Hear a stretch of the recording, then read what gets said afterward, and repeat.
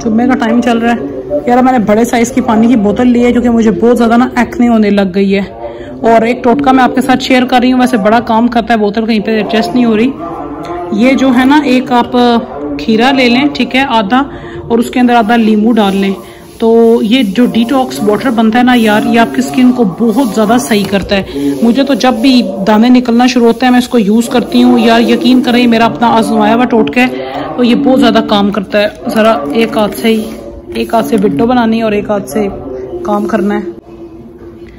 अच्छा ये मैंने खीरा लिया था, आधा, ठीक है? तो ना, बिस्मिल्लाहिर्रहमानिर्रहीम। और मैंने लिया था लींबू एक दरमियाने साइज़ का। तो इसके अंदर मैं ये चीज़ें डाल रही हूँ, ठीक है? बोतल कहीं से स्टेबल ही नहीं हो रही। जुम्मे की नमाज़ भी हो रही है, सल्लल्लाहु अलैहि वसल्लम। यार एडजस्ट हो जाओ भाई। ये कुछ चीज़ें ऐसी हैं जो अगर आप फॉलो करेंगे ना यार इनशाला आपको बहुत फ़र्क पड़ेगा। बिस्मिल्लाह। गई गई गई गई गई। अच्छा ये देखिए जी, मैंने अपनी बोतल रेडी कर ली है। ठीक है, इसके अंदर मैंने डाल दिया आधा खीरा, बारीक बारीक स्लाइस करके और लींबू डाल दिया। तो ये डिटॉक्स वाटर बन गया यार। ये इसको ना मैंने रखना है फ्रिज के अंदर मैं रख दूँगी, ठीक है? गर्मी में जरा बू छूट जाती है पानी में तो दो तीन घंटे के बाद आप इसे रख के फिर यूज़ कर ले। सारा दिन इसी के अंदर पानी भरते रहे तो मेरा एक लीटर से ज़्यादा की तो बोतल है। तो ये दिन में तीन से चार बोतलें भी हैं तो इनशाला आपका चेहरा स्किन बहुत अच्छा हो जाएगा। और ये खीरे और लींबू वाला जो डिटॉक्स वाटर है ना, ये जो डिब्लॉटिंग का इफ़ेक्ट होता है ना, यानी कि जो चर्बी जम जाती है, वो पिघलती नहीं एक टाइम आता है, चर्बी आपकी डीठ बन जाती है, जैसे मेरी बनी हुई है तो वो उस पर भी आपको काफ़ी हेल्प करता है, खीरा और जो लींबू है ना, चर्बी को पिघलाने में जरा मदद देता है। दानों के लिए और स्किन फ्रेश के लिए तो यार ये बहुत ज़्यादा बेनिफिशियल है, इसको यूज़ कर लो ये एक आड़ू और एक जो है ना सेब है, यार इस वक्त ना साढ़े बारह बजे, एक बजे बड़ी भूख लगती है, बंदे को रोटी तो तीन बजे ही बंदा खाता है तो कोई जो है ना मिड डे स्नैकिंग की ज़रूरत होती है तो कोई भी एक दो फ्रूट ले लें सेब जो है ना, जो भी वज़न कम करना चाह रहे हैं, दो सेब भी आप खाएँगे तो फ़र्क नहीं पड़ेगा क्योंकि इसके अंदर कैलोरी का कोई चक्कर नहीं है। ये और अमरूद बहुत फ़ायदा देते हैं। अमरूद मुझे मिले नहीं थे, आड़ू भी अच्छे होते हैं। सो अब ये खाने लगी हूँ कि शदीद भूख लग रही है यार। इस वक्त अब कोई ऑयली चीज़ें चिप्स और पकौड़े चिप्स बनाने से तो बेहतर है कि मैं ये खाऊं। सो ये जी मेरी फ्रूट्स की प्लेट रेडी हो गई है। इसमें सिर्फ़ आड़ू है और सेब है। ठीक है? क्योंकि केला मैंगो वगैरह तो मोटापा करता है, उसमें कैलोरीज काफ़ी होती हैं। सो ये जो है ना मेरा फ्रॉक है, छोटी पे मैंने बनवाया था, इसकी ये बाजू इस तरीके से इलास्टिक वाली है। तो जुम्मे का दिन है, मैंने कहा थोड़ा अच्छा सा जुम्मे के दिन इंसान को जो है ना तैयार होकर नमाज़ शमाज पढ़नी चाहिए। इस्त्री मैंने भी कोई नहीं किया, अभी इसको आयरन करना है। ये ऐसे फ्लेयर वाला, बाहर भी पहन के जा सकते हैं लाइक एन अबाया और घर में भी पहन सकते हैं। और इसके साथ ये टाइट्स हैं। ये मैंने स्टाइलो से ली थी सेल में। कितने की भला? मिली थी? ये मिली थी आठ सौ की। हाँ जी, जुम्मे के दिन की जो है ना रसूमात है, वो इम्पोर्टेंट है शेयर करना। सो इस नीयत से नहीं शेयर कर रही मैं कि मैं कोई बड़ी तारीख जमील हूँ ठीक है? तो ये है कि इंसान कोई भी नेकी का काम करे, दूसरे को भी दावत देता रहे यार। थोड़ा बहुत रिमाइंडर हो जाता है, बंदा किसी को बता देता है। क्योंकि अल्लाह माफ़ करे, मैंने ऐसे भी लोग देखे हैं अपनी ज़िंदगी में। ट्रस्ट में ऐसे लोग देखे और बड़ी हैरानगी होती है यार। जुम्मे की नमाज़ भी नहीं पढ़ते कि कहते हैं, यार, हम बहुत बिज़ी थे, हमारा काम था, हमारी जॉब पे जगह नहीं थी। मतलब यार मैं सोचती हूँ गुना सवाब की बात नहीं है। कोई कैसे जुम्मे की नमाज़ छोड़ सकता है? लाइक जुम्मे की नमाज़ कैसे छोड़ सकते हैं? नॉर्मल नमाज़ भी नहीं छोड़ सकते। जुम्मे की तो यार मतलब समझ ही नहीं आती है अगर मुसलमान है और आप जुम्मे की नमाज़ नहीं पढ़े। सो so, जुम्मे के दिन कुछ बेसिक बेसिक चीज़ें हैं। वैसे मैं करती हूँ कभी मैं नहीं भी करती मैं ऐसे ही कहूँ कि ब्लॉग के चक्कर में कि मैं करती हूँ कभी मैं नहीं भी करती। तो वो मैं शेयर करना चाह रही हूँ ताकि कोई अगर देखता है सीखता है तो अल्लाह ताला राज़ी हो जाए। क्या पता अच्छी बात यूट्यूब है चैनल है तो इससे अच्छी बातें फैलाऊँगी ना, बेहयाई फैलाने के लिए तो मैंने ये नहीं बनाया। तो यार जुम्मे को कोशिश करें कि वैसे तो मैं हर जुम्मे को नहीं मतलब मेरी बैक में भी दर्द रहता है, मैं नहाती नहीं हूँ हर जुम्मे, आगे पीछे नहा लेती हूँ रैंडम लेकिन जुम्मे को चूँकि सुन्नत वाला है तो वाकई हमें कोशिश करनी चाहिए कि हम नहाएँ ठीक है, और साफ़ सुथरे, अच्छे कपड़े इस्त्री करके खुशबू लगा लें। इसीलिए खुशबू लगा लें, खुशबू अल्कोहल फ्री ही लगाएँ, ठीक है? और देखें कि इसराइली ना हो। इसीलिए खुशबू लगा लें कि सुन्नत है। सुन्नत समझ के सिर्फ़ कर लें, वरना आपकी बाजी का भी दिल नहीं करता कि वो जुम्मे को मस्त नहाए, खुशबू लगाए, साफ़ कपड़े पहने। मैं तो एक सूट को दो दिन चला लेती हूँ। गर्मियों में डेली और सर्दियों में दो दिन चला लेती हूँ। तो ये है कि इंसान का थोड़ा सा ना हो जाता है कि अल्लाह के नबी को अगर हम फॉलो करते हैं वैसे भी रबी अव्वल का महीना स्टार्ट हो गया है तो सुन्नतों को ना साइड बाई साइड ना प्यार, मोहब्बत से ज़िंदगी में इम्प्लीमेंट करना चाहिए। सवाब के लिए नहीं, सिर्फ़ इसलिए कि अल्लाह और उसके रसूल खुश होंगे। आखिरकार हमारा ठिकाना तो अल्लाह रसूल के साथ ही है, उन दोनों के अलावा तो कोई भी वफादार नहीं है। सो चलते हैं।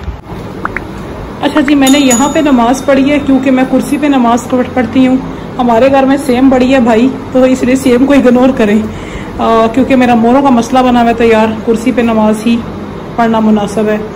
और ये बेड का ज़रा गद्दा उठाया हुआ है, क्योंकि मुझे इशू है बैकबोन का तो डॉक्टर ने कहा है, भाई जी, कि आपने वर्जिश करनी है। वर्जिश मुझे याद तो नहीं रहती, लेकिन अब से इनशाला करूँगी। अच्छा एक और जो है ना, जुम्मे के दिन के हवाले से एक इंपॉर्टेंट चीज़ इम्पोर्टेंट रिमाइंडर शेयर करना है, कि जो है ना, ये जो एक अदद घर पे आप सबके मौजूद होगी किताब, जो मोस्टली लोगों ने रखी होती है फ्रिज के ऊपर या फिर अलमारी के ऊपर सजा के रमज़ान रमज़ान इस बार कर लेंदे हो। तो कोशिश किया करें कि यार कुरान पाक ना डेली बेस पे थोड़ा सा थोड़ा पढ़ा करें। अभी मैं सिर्फ़ उठा के ना मतलब दिखाना चाह रही हूँ ताकि इस किताब को देख के बहुत सारे लोगों को याद आए। ये भी एक इश्क है, ये भी एक मोहब्बत है, जिसको जो है ना पढ़ना और खोलना और देखना बहुत ज़रूरी है, ठीक है? तो हम कहते हैं ज़िंदगी में बड़ी परेशानियाँ हैं, बड़ी टेंशन है ए नहीं हो रहा, वो नहीं हो रहा। तो यार जब इससे आप दूर रहेंगे ना सोशल मीडिया ਤੇ ਘੰਟੇ ਘੰਟੇ ਲਾਸੋ ਸਹੇਲੀਆਂ ਨਾਲ ਤੇ ਸਹੇਲੀਆਂ ਨਾਲ ਲਾਸੋ ਤੇ ਇਸ ਤੋਂ दूर रह सो तो फिर मुश्किलात तो पैदा हो सड़ना तो कोशिश करें यार रिमाइंडर रखें पिछले दिनों मैंने भी सोचा था कि यार डेली बेस पे ना एक सफा डेढ़ सफा पढ़ूं चार पांच दिन रूटीन सही रही फिर स्कूल खुल गए तो फिर थोड़ा सा फिर अप एंड डाउन हो गया लेकिन इनशाला लाजमी मैंने जो है ना इस पे फोकस करना है तो यार आप लोग भी ना कुरान का हिसाब है। आपको पता है कुरान पाक का हक है कि एक साल में आप लाजमी एटलीस्ट दो कुरान तो खत्म करें। तो आप डेली का एक सफ़ा पढ़ें, डेढ़ सफ़ा पढ़ें कौन ही टाइम लगता। जिस इंसान को लगता है ना कि मेरी गलतियाँ बहुत ज़्यादा होती हैं यूट्यूब से लगाएँ साथ साथ वो कारी पीछे पड़ेगा आप पीछे रिपीट करें, आपकी गलतियाँ भी ठीक हो जाएँगी। तो यार प्लीज़ पाँच वक्त की जो नमाज़ है ना और जो कुरान है, इसका खास ख्याल करें, क्योंकि अल्लाह की कसम आखरत में इसकी पूछ होनी है और इसके छितर भी बड़े डाडे पड़ने हैं। तो इसमें इतना मज़ा आता है ना यार इसको पढ़ के इसको देख के इसको सीने से लगा के, के बंदा खुद ब खुद इंजॉय करने लग जाता है। इसे ज़िंदगी का पार्ट बनाए। इसलिए नहीं कि ये सवाब की बात है या जी हमारे पे फ़र्ज़ है। इसलिए क्योंकि ये आपके बेस्ट फ्रेंड की किताब है। अल्लाह भी और उसका नबी भी आपके बेस्ट फ्रेंड है। ये उनकी किताब है। तो इसके साथ आपका रिलेशन बना रहेगा। तो यार आपके लिए बहुत सारी अच्छी चीज़ें होंगी। अच्छा मैंने आपके साथ एक इम्पोर्टेंट बात शेयर करनी है। अच्छा मैंने ना एक इन्फॉर्मेशन शेयर करनी है। बहुत सारी मेरी दोस्तें हैं, ठीक है? जो है, माशाल्लाह अल्लाह के घर से वो उम्र वगैरह करके आए हुए हैं, ठीक है? तो ये जो कुरान पाक है ना यार हाँ जी, ये जो कुरान पाक है ना, ये सऊदी अरब से बेसिकली मुझे गिफ्ट मिला था। मतलब हम लोग जब हज पे गए थे तो हमें तीन कुरान गिफ्ट मिले थे। मुझे, मेरे मामू का एक मिला था और एक मेरी मम्मा का मिला था, ठीक है? तो ये जो कुरान पाक है, अल्लाह आपका भला करे। ये सऊदी अरब से आए हैं, सऊदी अरब में स्पेशल हर साल वो लाखों के हिसाब से हाजियों को गिफ्ट देने के लिए बनवाते हैं। ये मैंने मस्जिद नबी से, या मस्जिद है जो है ना क्या हरम से मैंने नहीं उठाया। मैंने ये मुझे गिफ्ट मिला था। तो ये जो कुरान है बेसिकली मैं तो कुरान हाफिज नहीं हूँ, लेकिन मेरा भाई माशाल्लाह कुरान पाक का हाफिज है। तो मेरा भाई ना रमज़ान में अपनी मंजिल पक्की कर रहा था। तो उसने ना इस कुरान पाक में देखा है कि बहुत सारी मिस्टेक्स थी। दो से तीन आयात थी, जो कि उसने देखा कि यार मतलब काफ़ी ना इसके अंदर गलतियाँ आ रही थी। तो उसने कहा कि यार, ये आयत इस तरीके से नहीं है जैसे यहाँ पे लिखी हुई है। अब मुझे नहीं पता, अल्लाह माफ़ करे ये काम क्यों हो रहा है? फिर मेरे अब्बू को कुछ सूरतें आती थी, उन्होंने भी एक से दो जो है ना, जो दूसरा कुरान था, उसको चेक किया, उसके अंदर भी थोड़ी सी गलतियाँ निकली। तो यार, अगर पुराने पाक आप खरीदते हैं ना तो कोशिश करें कि आप सही वाली कंपनी से लें। कोई भी दीनी किताब आपको मिल जाती है, मार्केट में हम उठा लेते हैं, यार मिस्टेक्स भी नवजुबिल्ला जो यहूदी अनासर है, जो ऐसी लमती ताकतें हैं, जो चाहती हैं कि हमारे मज़हब को जो है ना, वो किसी तरीके से नुकसान पहुँचा सकें, लेकिन उनका बाप भी इस्लाम का बाल बाका नहीं कर सकता, ठीक है, जो कि अल्लाह और उसके रसूल का दीन है, इसकी हिफाजत का जिम्मा अल्लाह ने खुद लिया हुआ है। तो ये थोड़ा सा आपने ध्यान करना है। दो कंपनियाँ हैं, पाकिस्तान में, एक ताज कंपनी है और एक दूसरी है, मुझे अब नाम नहीं याद आ रहा। तो उसमें से जो जिस कंपनी का कुरान आपको लेना चाहिए हाँ तो मैंने ये चीज़ ना कंफर्म की थी, क्योंकि मतलब एक दो आलिम दीन से और जो हाफिज हैं, उनसे जो बच्चों को पढ़ाते रहे हैं ना तो उन्होंने कहा था, जो ताज कंपनी है ना, वो सबसे बेस्ट कंपनी है। आप ताज कंपनी का पुराने पाक खरीदा करें, उसके अंदर गलतियों के चांसेस कम है। ये जो मेरे साथ हुआ है ना, ये मेरा लाइफ तजर्बा है कि सऊदी अरब से मतलब वापस आते हुए तो सऊदी एयरपोर्ट पे उन्होंने हमें मतलब अंदर जो है ना बोर्डिंग लाउंज के अंदर वो कुरान पाक साहब को बांट रहे थे और ये हाजियों को उन्होंने दिया और मेरे भाई ने दो जगह पे गलतियाँ पकड़ी। मतलब मेरा भाई भी हाफिज है, मेरा मामा भी, माशाल्लाह, हाफिज कुरान था और अल्हम्दुलिल्लाह मेरे मेरे खानदान में कोई दस से बारह हाफिज कुरान है, अल्हम्दुलिल्लाह।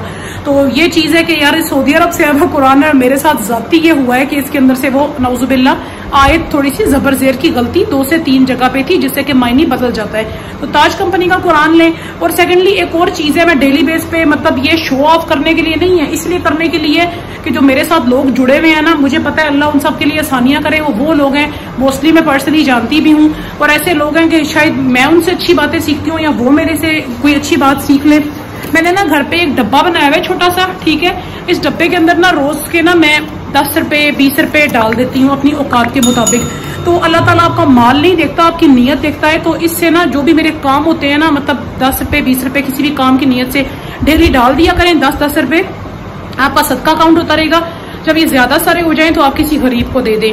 तो यार, ये मेरी डेली की रूटीन थी जो मैंने आज शेयर की है। उम्मीद है आपको अच्छी लगी होंगी। अगर वीडियो अच्छी लगे तो इसे दूसरों के साथ इसलिए शेयर करें कि जो आज मैंने आपको अपनी डेली रूटीन के चंक्स बताए ना, ये वो चीज़ें हैं जो हर मुसलमान पे करना लाजमी है। और दो इंपॉर्टेंट आखिरी रिमाइंडर है, बस आखिरी वीडियो खत्म करने लगी हूँ। डेली का ना ज़्यादा ना सही मतलब मैं नहीं कहती कि आप तस्वीर लेके बैठ जाए और टक टक टक टक करते रहें, और अमल आपका कुछ भी नहीं है। डेली का ना सच्ची नीयत के साथ पचास दफ़ा ना दरू शरीफ पढ़ के अल्लाह के रसूल सल्लल्लाहु अलैहि वसल्लम की बरगाह में भेज दें। उनका ये अल्लाह का, उनका और आपका मामला है। सारे जान नहीं तो सड़ा कि हर वक्त दरू शरीफ पढ़ते रहते हैं, ओ भाई, पढ़ते रहते हैं तो एहसान करते हैं। जिस नबी के लिए पढ़ते हैं ना, उन्होंने अपनी औलाद से ज़्यादा दुआएँ आपके लिए और मेरे लिए की हैं। तो हमारा फ़र्ज़ है उन्हें डेली याद करना। उनके लिए आप नमाज़ पढ़े, कुरान पढ़े, दरूद उन्हें भेजे। और हाँ एक इम्पोर्टेंट चीज़, मेरे और आपके प्यारे अल्लाह ताला है ना, जो उनका फेवरेट कलाम है सुबहान अल्लाह वबी हमदी सुबहान अल्लाह लजीम। तो दिन में ना, सिर्फ़ अल्लाह ताला की खुशी के लिए और अल्लाह ताला के चेहरा मुबारक पे स्माइल लाने के लिए, सौ डेढ़ सौ दफ़ा सुबहान अल्लाह वबी हमदी सुबहान अल्लाह लजीम पढ़ लिया करो। ताकि आखिरत में जब आप अल्लाह के सामने जाए ना तो अल्लाह ताला को आप पे बहुत ज़्यादा प्यार आए। ठीक है? उम्मीद है वीडियो अच्छी लगी होगी। ये डेली के रिचुअल्स हैं जो मैंने लाजमी करने होते हैं। मैंने सोचा आवाम के साथ सिर्फ़ गलत बातें ही नहीं शेयर करते हैं ना। दीन की बातें शेयर करना तो प्रायोरिटी है, ठीक है? तो मैंने इसलिए आपके साथ शेयर किया कि उम्मीद है आप इन चीज़ों को अपनाएँगे। लोगों के साथ शेयर करना इस वीडियो को इसलिए मेरे व्यूज़ आए, इसलिए नहीं, इसलिए कि सदकाए जारिया हो इसमें जितनी बातें हैं, जितने लोग अमल करेंगे, मुझे भी सवाब मिलेगा, आपको भी मिलेगा। और कयामत में यही चीज़ हमें अल्लाह और उसके रसूल के कदमों में इनशाला जगह दिलवाएगी। अपना ख्याल रखें, फलस्तीन को दुआ में याद रखें। अल्लाह हाफिज।